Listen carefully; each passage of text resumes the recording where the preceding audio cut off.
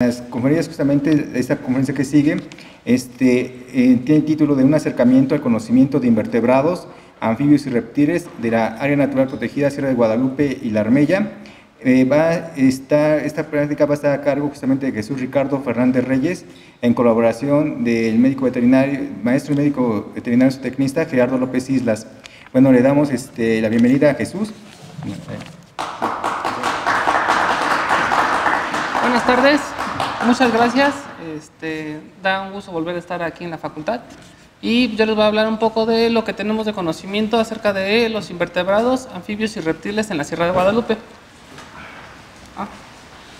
¿De dónde venimos nosotros? Bueno, venimos de las áreas naturales protegidas con conservación, conservación ecológica Sierra Guadalupe y ANP La Armella, de la Dirección Natural de Áreas Naturales Protegidas y bueno, de la DG Zampava, para ahorrarnos todo ¿Dónde está la Sierra Guadalupe? Pues somos a la punta norte del Distrito Federal. Todos estos cerritos del norte, la villa está acá atrás. El Cerro Zacatenco, Gachupines, Cerro Zacatenco, Vicente Guerrero, Gachupines, el Chiquihuite y el macizo de Cuautepec. Todo este mapa, si se fijan, falta toda la parte del Estado de México. Entonces nosotros ocupamos toda la parte norte, somos las únicas ANPs al norte de la Ciudad de México. Eh, se decretaron el 20 de mayo de 1990 eh, lo que fue la Sierra Guadalupe y la Armella se decretó el 9 de mayo de 2006. ¿no? Todas estas tuvieron modificaciones en sus decretos y planes de manejo en lo que fue el 2016. Se tuvo una pequeña actualización. Yo ahorita voy a enfocarme un poco en lo que marcaba el plan de manejo inicial para explicarles un poco lo que hemos trabajado nosotros, no tanto la modificación del 2016. ¿Cuánto tenemos de espacio en la Sierra Guadalupe? Pues son en Sierra Guadalupe 633.68 hectáreas, eh, marcado en el plan de manejo, 193.38 hectáreas de la Armella, también contamos con 369.21 de suelo conservación, esa tiene otra categoría, la zona, la zonificación, y 1196.27 total, bueno, es el total de todo. También nos incluye lo que es el Parque Nacional Tepeyac, de lo cual tiene este, injerencia la CONAM. Estos son un poco del tipo de vegetación que tienen, pues más o menos algunos los conocen, pastizales, lagunas, este, zonas urbanas, bosques de encino, bosques mesófilos. ¿Y qué tenemos en la sierra? Pues tenemos pastizales, tenemos bosques mesófilos de montaña, tenemos bosque de encino, de hecho es, son de los puntos donde tenemos bosques de encino, bosque mixto, matorral xerófilo, vegetación acuática y subacuática también tenemos nosotros en la Sierra Guadalupe. Zonas agrícolas, también tenemos algunas zonas donde la gente trabaja sus parcelas y pues la vegetación urbana, ¿no? ¿Qué nos marca acerca de biodiversidad animal en el plan de manejo inicial? Recalco mucho eso. Nos marcan 8 anfibios, 21 reptiles, 96 aves, 0 invertebrados y 25 mamíferos, de los cuales pues, son los que hemos estado empezando a trabajar para las actualizaciones del plan de manejo. ¿Cuándo se inició más o menos? Eh, cuando se inició el área natural, las actividades de monitoreo de flora y fauna, el trabajar específicamente con los invertebrados, con los vertebrados, era como apoyo para el área de educación ambiental. No tanto era para investigar a las especies o ver cómo se comportaban, su distribución. Algunos compañeros, como este oficial, es un policía que está ahorita en la raza, él tenía mucha curiosidad y investigaba qué animales encontraba veía si eran venenosos o no. Entonces, él digamos que fue el precursor del área, fue el que medio inició, pero sin embargo, pues todo lo absorbía el área de educación ambiental. Le daban más enfoque a eso. Eh, tenemos una justificación de nuestro plan de manejo. En el componente de investigación y monitoreo, en la página 132, nos marca las actividades que tenemos que realizar conforme a la flora y la fauna, ahora sí que en la zona. Ya en el 2013, pues iniciamos, ya fue ahora sí que cuando entré yo, entró su servidor, junto con el doctor Gerardo, que entró dos años después, para enfocarnos ya un poco más acerca de las especies, de la biodiversidad. No tanto darle un enfoque al área ambiental, al área de educación ambiental, más bien darnos un enfoque específicamente a esa zona. Ay, me pasé. Ay, perdón. Unas metas acciones las metas y acciones que tenemos a realizar son seguimientos de las distribuciones, abundancias espaciales, estados actuales de aquellas especies endémicas en categoría de riesgo, cuáles tenemos, cuáles no, la pérdida de biodiversidad que hemos tenido registrada. este, inventarios de recursos naturales, lo que se puede aprovechar, lo que no se puede aprovechar, la elaboración de bases de datos bibliográficos, todo esto para que ustedes puedan también, como estudiantes, como investigadores, puedan tener una base las cuales puedan corroborar o puedan revisar ustedes. Elaboración de datos de inventarios florísticos, tenemos que ver también qué tenemos, en qué abundancia, si tenemos, no tenemos, se ha perdido o no. Bueno, elaboramos nuestra base de datos, las especies establecidas en las ANPs, la contribución a, que el conocimiento de la biodiversidad de la zona, cosa que nosotros hemos revisado con la maestra Yolanda Hortelán, no me dejará mentir, y pues hay muy poca información, de hecho hay poquísima información, no hay casi nadie que haya trabajado en esa zona. Entonces estamos haciendo eso, estamos haciendo la actualización constante, tratamos de actualizarlo lo, más seguido posible. La dominación de la administración del NP, pues no, pues todo esto nos sirve para poderla trabajar mejor y pues sea un mejoramiento de la zona. Trabajo de campo intensivo y pues qué resultados hemos tenido elaborando todo esto. Vemos que hemos encontrado fauna acuática, tenemos peces, tenemos charales, este, por desgracia también han liberado guppies, entonces han hibridizado los charales con los guppies, tenemos characupis, tenemos carpas doradas y al parecer pues sí se están reproduciendo. Esta pasa en un pequeño estanque que tenemos en una zona que nosotros conocemos como La Mora, era un estanque, era un nacimiento de agua, el cual la gente pues, al verse bonito ha liberado patos, ha liberado carpas, charales, este tenemos mucha elodea, tenemos caracoles acuáticos, incluso tenemos juncos.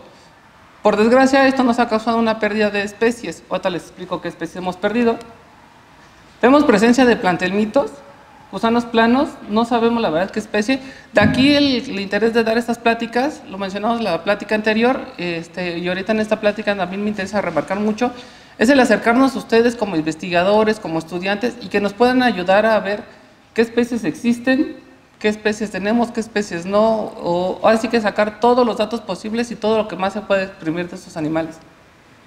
Insectos tenemos una gran variedad de insectos, me tardaría más de dos horas explicando qué, qué insecto he visto, en dónde lo he visto, cuándo lo he visto.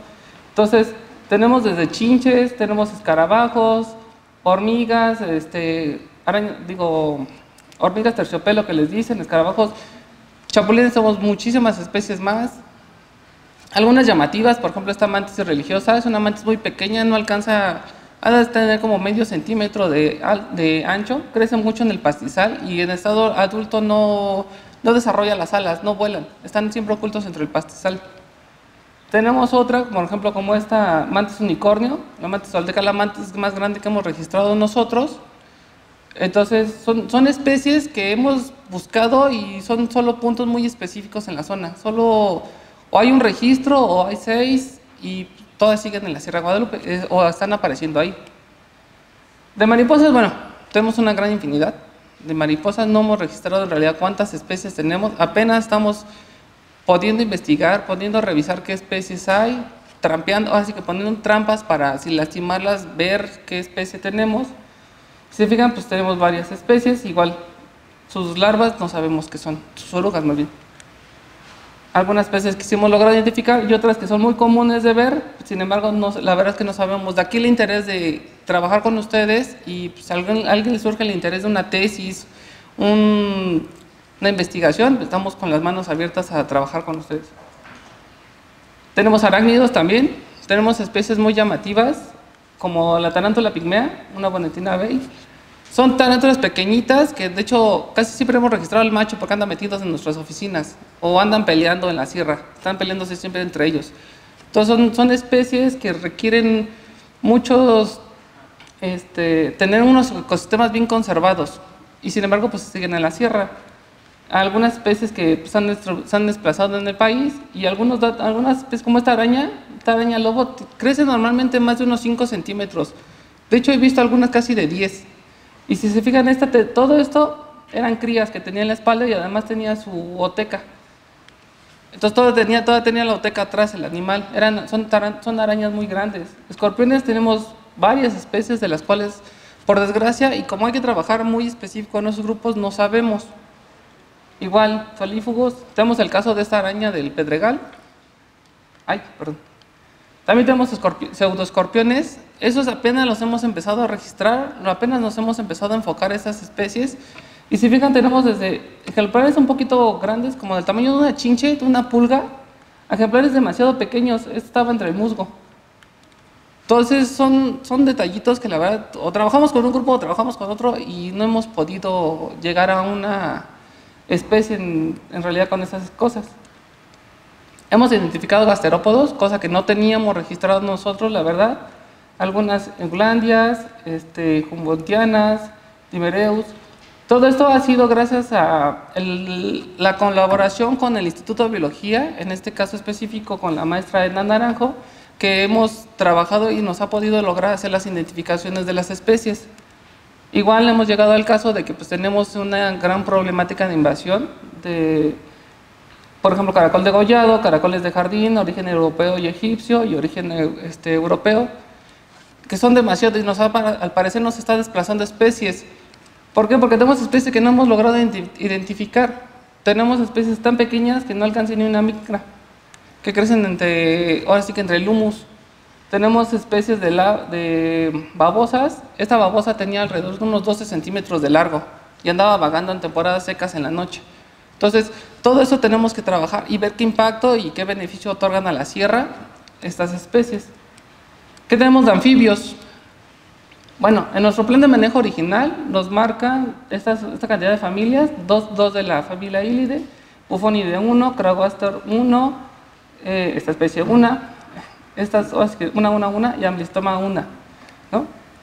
Registramos nosotros, por desgracia, una pérdida de especies de anfibios, lo que les mencionaba, los que les mencionaba la contaminación de, los, de las zonas fluviales, de las zonas acuáticas.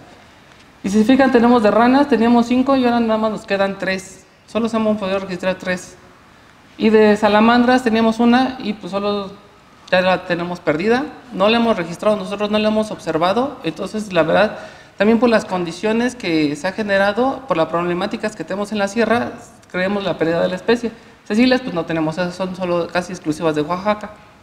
¿Qué especies tenemos? Bueno, tenemos la Craugastor agusti, una ranita pequeña, esta es muy común en el Cerro Zacatenco, encontrarla en la zona de pastizal, es muy común encontrar a los juveniles desde Puerto para seca siempre abajo de troncos quemados o carbonizados casi siempre es donde se observan. A los adultos se escuchan en temporada de lluvias cantando, pero no se dejan observar. Tenemos una gran población, una gran abundancia en el macizo de Cuautepec, de la rana, ranita gris. Estas podemos registrar en temporada de lluvias alrededor de hasta unas 20 ejemplares en un metro cuadrado.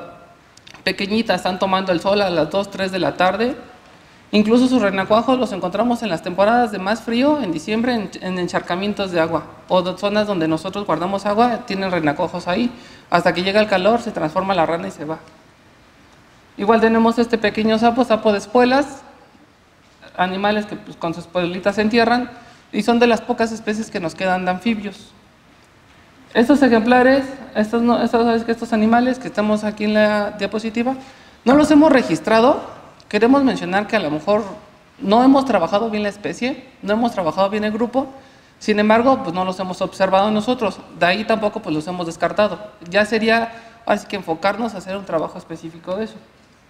De reptiles que tenemos, bueno, tenemos dos de esta familia, Phrynosomai tenemos cinco, Tai tenemos una, Culebrides nueve y Viperidos tres. Eso nos marca el plan de manejo original. De los cuales, bueno, igual, de lagartos, tenemos la misma cantidad de lagartos, de eso no hemos registrado una pérdida de especies. De serpientes, sin embargo, sí tenemos de 12, tenemos 9, hemos registrado una gran pérdida de especies.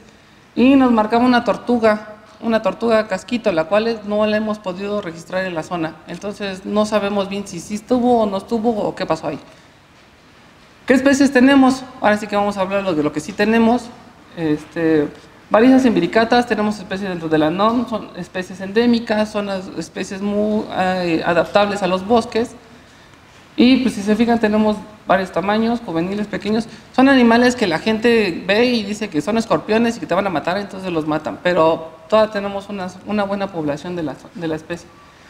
Estos frinosomas, todo el mundo los hemos visto en los mercados, en lo afuera de las escuelas, que los venden muy comunes. Son animales que no se adaptan al cautiverio sin embargo, tengo que mencionarlo, este, este es el único registro que tenemos de este ejemplar. Fue en el 2010, un torrero lo encontró, le tomó foto y lo liberó. Entonces ya de ahí en fuera no hemos registrado ni uno solo. Entonces, como la gente sube mucho, tenemos la teoría de que suben y los agarran, los depredan y se los llevan. Entonces, bueno, tenemos un solo registro de este ejemplar. Celóporos grámicos, tenemos bastante abundancia de estos ejemplares.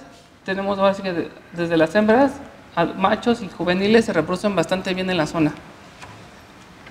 Celóporos escalaris igual, estos los tenemos en zonas secas, más secas y son muy específicos de los puntos de la solo el macizo de Cuautepec. Estos no los encontramos en toda la sierra, solo en el macizo de Cuautepec.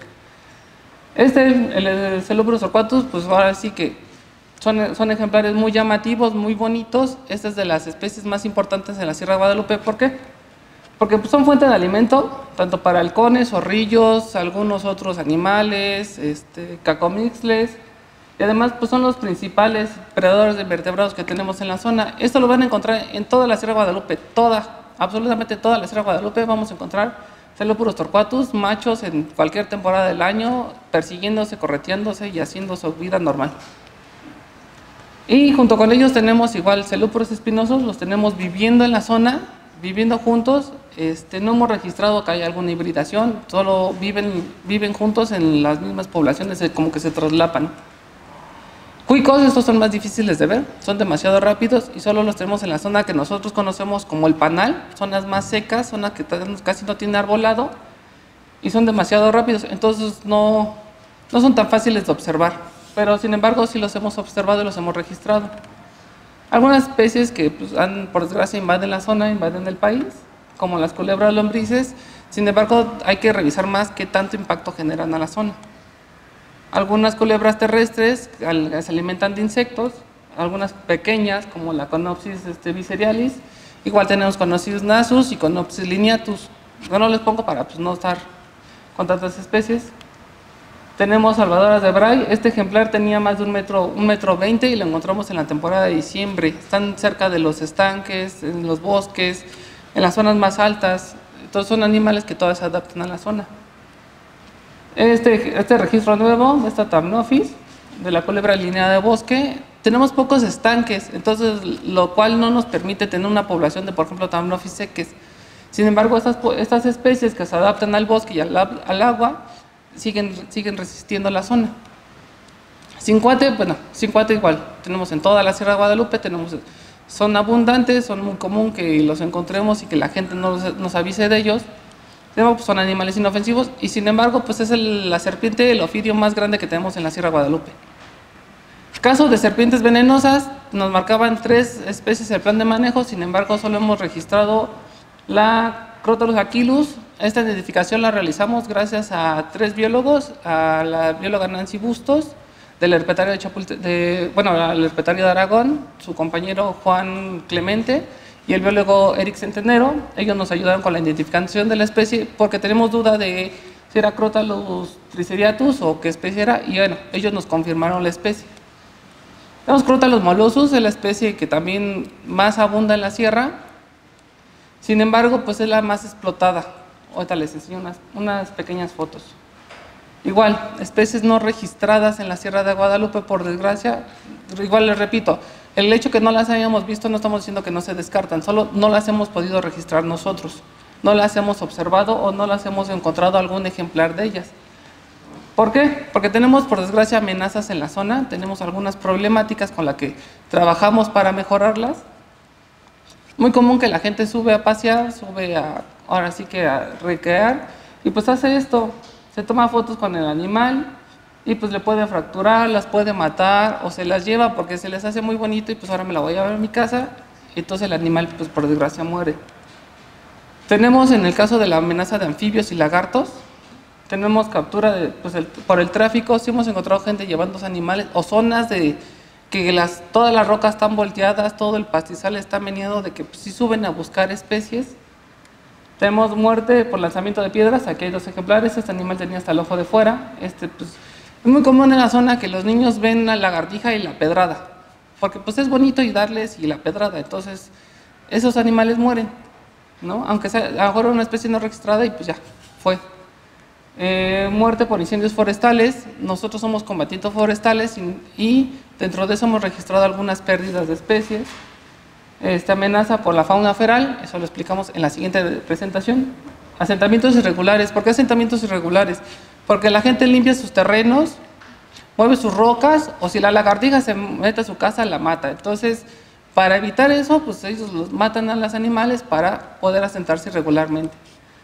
Contaminación por basureros clandestinos. Por desgracia en la zona, a la gente le es más fácil aventar la basura al lado del muro o a esperar a que pase el camión en la mañana. Entonces, tenemos unos basureros muy grandes, lo cual nos causa una gran problemática porque además nos contaminan las pocas fuentes de agua que tenemos. No tenemos fuentes de agua permanentes todo el año más que la laguna de la Mora y solo es en un punto, todo lo demás no tiene agua en todo el año. Todas las especies están muy adaptadas a ese tipo de climas, de que la mayoría del tiempo no tienen agua, solo en, en estacionalidad de lluvias. En el caso de las serpientes, las separé porque tenemos la problemática muy específica de la cura para el cáncer. Ya saben, la cascabel seca que te cura el cáncer. Suben mucho a agarrar cascabeles con la negra, matarlas, por eso. Que pues, para evitar mordidas. Para evitar mordidas, ¿por qué? pues la mato antes de que me muerda. Aunque el animal no esté cerca, aunque el animal haya huido, aunque todo eso, voy y la agarro, la mato antes de que me muerda. Son mitos que por desgracia tienen estos animales y eso nos causa la pérdida de especies. Consumo para carne, sí hay mucho el que sube la gente. Esta se la decomisamos a un señor que la iba a consumir él y la otra mitad la iba a vender que para remedios del cáncer, ¿no? El cáncer, la cura del cáncer no se ha comprobado por desgracia. También nos ha pasado mucho que pues son animales malos, malignos, son de Satanás, entonces pues hay que matarlos, ¿no? Para nosotros tener un punto más en el cielo. Accidentes por las, ahora, nosotros realizar labores de prevención de incendios realizamos dos, dos, actividades. Una que es chaponeo, es retirar todo, todo el material combustible de la zona, de, los, lados, de los lados de los caminos, dejarlo secar y después quemarlo. Nuestros trabajadores, por desgracia, luego no se fijan y pues uno da el machetazo y llegan a dar al animal, llegan a lastimar o los llegan a matar. Estas muertes no son a propósito, son accidentales, porque tenemos que realizar esas actividades para tener un poco de control de incendio en los incendios forestales. Tenemos pues, la captura de tráfico ilegal de especies, si suben mucho algunas, algunos animales, unas personas pues, para captura de varicias y cascabeles y venta de mascota. Eh, por mal manejo, nos, también nos pasa mucho esto, nos ha tocado ver gente que pues, sube, agarra al animal y pues, vimos que en la tele lo agarran con los tres dedos y lo desnucan. Entonces, eso es lo que tenemos que tratar de controlar. Muerte por incendios forestales, amenaza por fauna feral. Este era un gato y mató una crotalos kilos pequeña en la torre. Se hizo muy bonito al, así que la persona que tomó la foto de que pues, estaba jugando con el animal y la, la pobre cascabel murió, ¿no? Y pues les repito, presencia de asentamientos irregulares, ¿no? Serpiente que ven, serpiente que es mala y serpiente que hay que matar. Pues no todo tampoco es tan malo. Este, este fue un caso, les quería mencionar, fue un incendio forestal, tuvimos 14 hectáreas, creo, más o menos. Como 14 hectáreas eh, se perdieron en el incendio forestal. Esta vez fuimos nada más, éramos dos personas que llegamos al principio no llevábamos equipo, si se fijan, no llevaba ni equipo, ni camisola, ni casco, ni chacualera, ni mochila, nada con qué combatir. Combatimos con unas ramas de eucalipto. La cascabel iba, iba ahora sí que reptando hacia el fuego y pues por instinto o por gusto de los animales, lo que hice fue sujetarla con una rama, busqué la zona de punto de poderme escapar del fuego y la saqué. La metimos en una este, botellita, terminamos de combatir el incendio, más o menos estamos como a las 6 de la tarde. Como a las 6 de la tarde, desde las como 2, de la tarde, ¿no empezamos? Como de una, una de la tarde hasta las 6 de la tarde estuvimos combatiendo el incendio, nos apoyaron bomberos, nos, que nuestras brigadas vean cómo queda la zona, queda completamente calcinada. Y esto a pesar de que ya unos digan, eso ya está negrito, está blanco, ya no hay... Estas zonas son puntos de calor horribles. Puede cocer un huevo en menos de 20 minutos, porque son zonas que todavía guarda el calor. Entonces, este animal huía y bueno, lo alcancé a agarrar, lo rescaté y lo mené. Pasa esto si no, hubiera, si no lo hubiera rescatado. Animales completamente calcinados, por desgracia por los incendios forestales. Tendré que mencionarles que en la zona, en la Sierra Guadalupe, el 90% de los incendios son provocados. El otro 10% pues puede ser por que se vuelve a prender o porque lo vuelven a provocar, así casi. Entonces, si por desgracia la gente nos prende mucho o creman su basura y se va a la zona forestal. Hemos registrado algunas especies muy raras con identificación, este, por ejemplo, esta salvada Bray. Estos ejemplares los hemos depositado en la colección de anfibios y reptiles, por si los gustan revisar, este, están depositados ahí. Hemos encontrado casos muy llamativos. Este 50 tenía un metro de largo, y esta rata tenía 30 centímetros. Esta rata es una rata noruega y este animal tuvo la, cabeza completamente quemada. Entonces, nos sirven de control de plagas. Son, son, son especies que nos controlan las plagas hacia nosotros. Este caso de esta avaricia fue en un incendio. Mi jefe la rescató porque la encontró ya muerta. La agarró y la recuperó. Me la entregó, la vi muy gordita, entonces decimos a ver su sistema, qué tenía su contenido gástrico pues encontramos que tenía 47 fetos. Entonces, el incendio forestal, el incendio pues, hizo pérdida de 47 varicias. Entonces, sí hay que tener mucho cuidado en ese caso. Bueno, para no, no, no irme tan feo en puras cosas negativas, este, esto es por una duda del maestro Noé. Son los registros de naturalista, de la página de naturalista de Conavio. Este, si se fijan, pues todos estos puntitos son nuestros, son nuestras observaciones. Son 90 especies con 266 observaciones.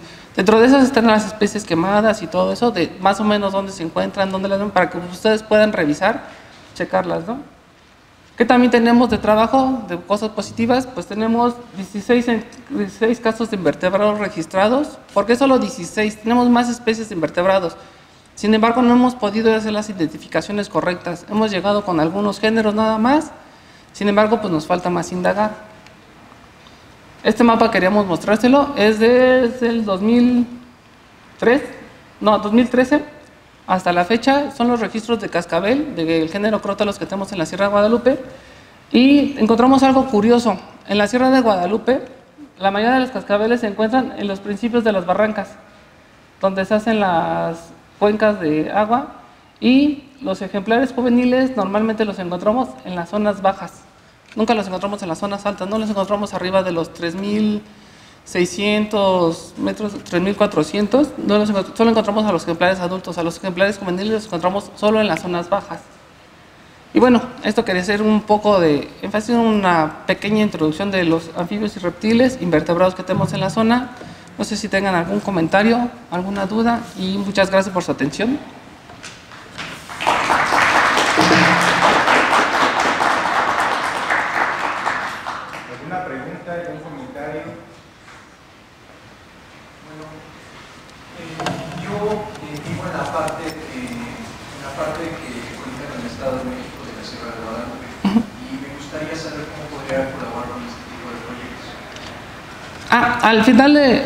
así que sigue la plática de anfibios y reptiles y al final vamos a hacer una plática interactiva en el cual vamos a abrir a lo que sea posibilidades de ustedes como estudiantes o investigadores, trabajar con nosotros, mencionarles nosotros cómo podemos trabajar con ustedes y ustedes cómo pueden elaborar, entonces para interactuar en esa más, más compleja.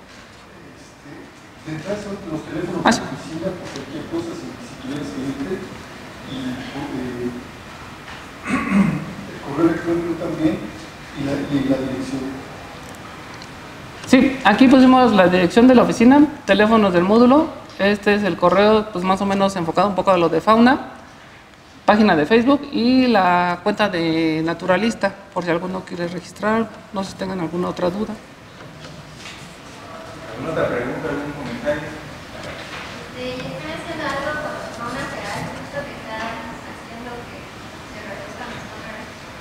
Sí, este, esa le toca al maestro Gerardo, este, para que indague más él en, la parte de la fauna feral. Sí hemos trabajado con eso, sí hemos visto que la presencia de gatos, perros, tú, lo, tú los viste, ratas ha sido muy impactante en la zona, en las especies. Es muy común que veamos gatos con serpientes o que veamos gatos con lagartijas, perros matando lagartijas de serpientes o incluso ratas pues, comiendo serranas. Entonces, si porque de por sí hemos tenido pérdida de especies, pues al tener estos animales nos ha afectado un poco más. Sin embargo, pues hemos trabajado con eso, con todas las actividades de prevención de incendios, la parte de este, difusión para que la misma gente de la zona de Cuautepec conozca las especies que tenga y les crezca un poco de amor hacia las especies de la zona. bueno, creo que la semana pasada no se explicaron ¿Qué pasa con el Estado de México? Sí, bueno, sí y no. Nosotros registrando especies, este, sí, caminamos al Estado. Así que las especies no delimitan si esto es ANP o esto no, y ellas se pasan y andan influyendo. Nosotros sí, sí indagamos en el Estado de México, no nos metemos tanto al Estado de México porque pues, nuestra injerencia es en el Distrito Federal. Por normativas no nos permiten trabajar en el Estado, sin embargo, pues sí, hacemos la interacción de las especies que encontramos tanto en el Estado como en el Distrito y esas, con esas especies trabajamos. Si en dado caso llegamos a encontrar una especie que solo encontremos en el Estado, esa sí tratamos de no tocarla tanto porque o la buscamos más en la zona, que obviamente es todo un macizo y pues andan, andan en todas partes. Sin embargo, en el caso de, bueno, en el caso particular de los anfibios, la Craguastor augusta la hemos, la hemos registrado en el Cerro Vicente Guerrero, que es como una isla sola, en el Zacatenco, igual es una isla pequeña, y en el Chiquihuite. En Cuautepec no la hemos registrado. Entonces, sí tenemos, ciertas especies que ya se han encontrado solo en zonas muy específicas, muy particulares, no ya en toda la sierra. En el macizo de Cuautepec, pues es más grande y yo creo que a lo mejor es un poco más difícil de encontrarlas.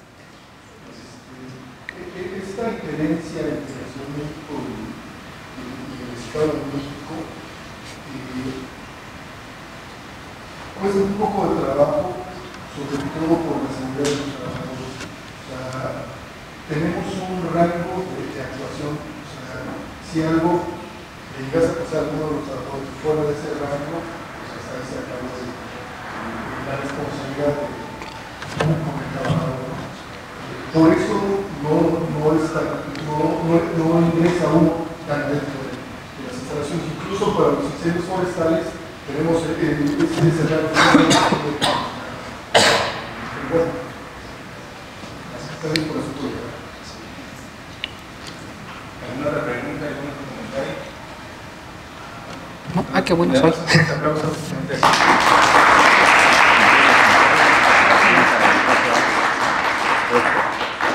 Bueno, la siguiente